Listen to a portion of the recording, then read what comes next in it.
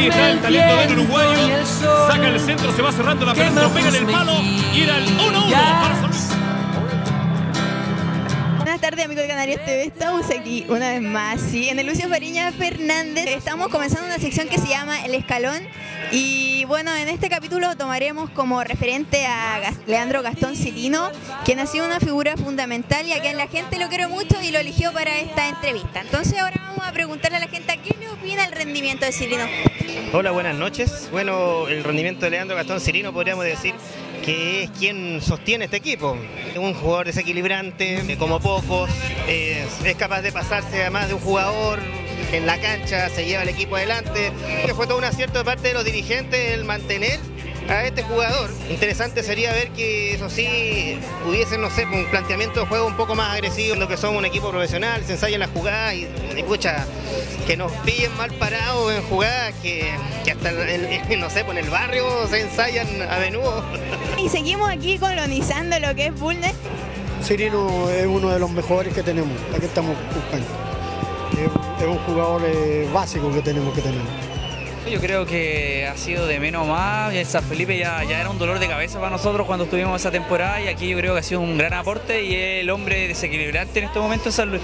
Yo creo el que marca la diferencia y es que esperemos que se complemente con Boris Agrego y ahí vamos a hacer una buena dupla.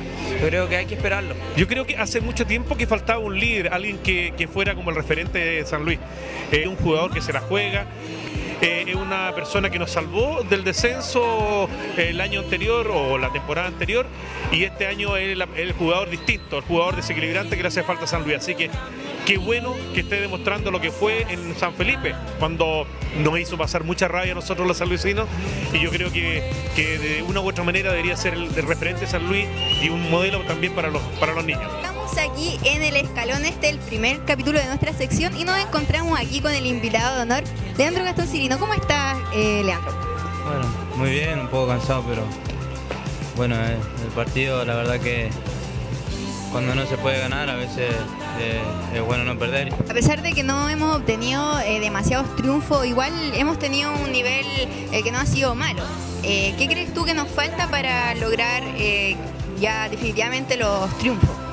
Sí, creo que hemos demostrado buen juego, si bien por ahí cuando mejor jugamos nos, nos estaban convirtiendo, así que hay que corregir eso, que no nos pasen más. Si bien eh, estamos jugando bien, pero si bien no, no- no estamos, no estamos ganando, que es lo que queremos, así que hay que trabajar en la semana y tratar de completar- co- complementar todo, todo lo bueno que se ha hecho y tratar de hacer los goles. ¿Cómo te ha tratado este equipo?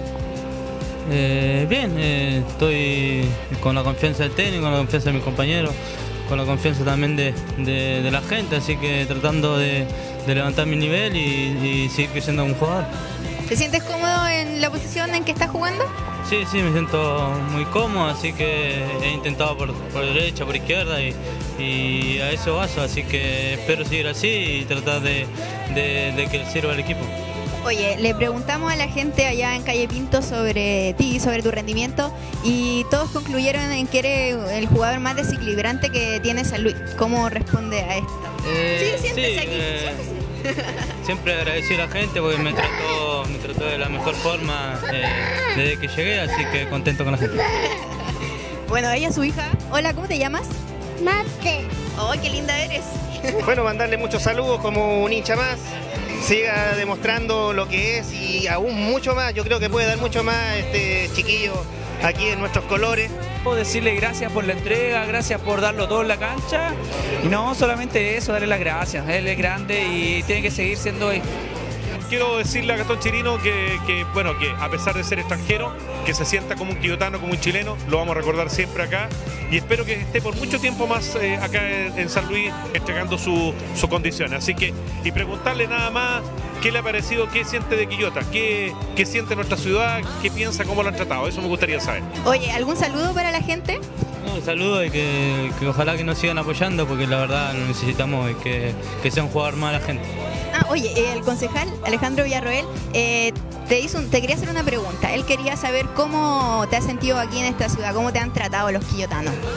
Bien, bien, la verdad que cuando voy en la calle me siento bien, eh, eh, camino y la verdad que la gente siempre me saluda, así que agradecido a la gente como me ha tratado y la verdad que agradecido. Muchas gracias.